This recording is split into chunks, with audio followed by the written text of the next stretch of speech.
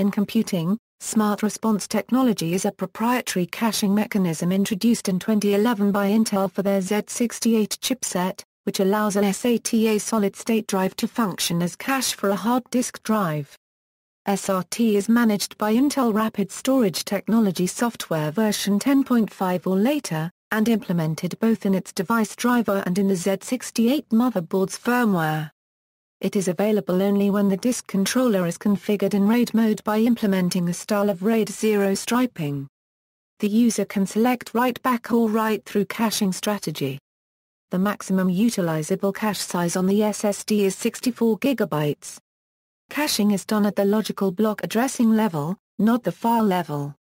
Shortly before the announcement of the new chipset, Intel also introduced the Intel 311, a 20 GB single-level cell solid-state drive, which it markets as suitable for caching. As of 2014, trim garbage collection is not supported for SRT caching devices, so the SSD's performance is solely maintained by its own firmware. With the release of Ivy Bridge chipsets, support for SRT was provided in a larger variety of desktop chipsets, including Z77, Q77 and H77 as long as an Intel Core processor is used.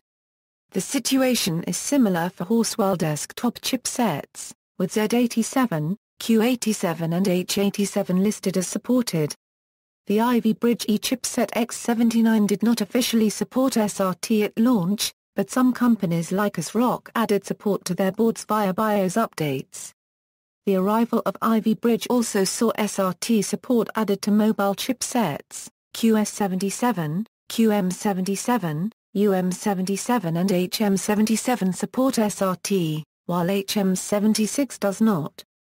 In 2012, Intel also introduced the 313 caching SSD series, advertised as also suitable for use in Ultrabooks.